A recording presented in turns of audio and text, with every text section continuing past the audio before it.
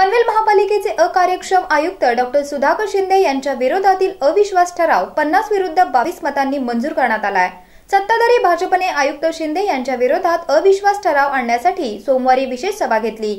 या सभेत आयुक्तांवर अकार्यक्षम अधिकारी असल्याचा आरोप करीत भाजपने अविश्वासाचा ठराव मांडला.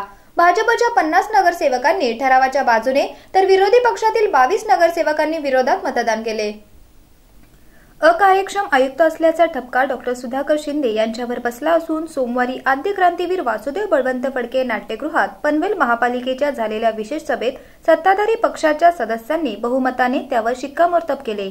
सत्ताधारी भाजपच्या वतीने सभागृह नेते परेश ठाकूर यांनी अकार्यक्षम आयुक्त डॉक्टर सुधाकर शिंदे यांच्या विरोधात अविश्वास ठराव मांडला. हा ठराव महापौरांनी मंजुरीला टाकला. त्यावेळी विरोधकांनी नेहमीप्रमाणे गोंधळ घातला. या गोंधळातच अविश्वास ठरावाच्या बाजूने पन्नास तर विरोधात बावीस नगरसेवकांनी मतदान करून अकार्यक्षम आयुक्तावर अविश्वास व्यक्त केला. या विशेष सभेसाठी आयुक्त डॉक्टर सुधाकर शिंदे अनुपस्थित होते. त्यानंतर तहकूब सभेचे कामकाज पूर्ण करण्यात आले.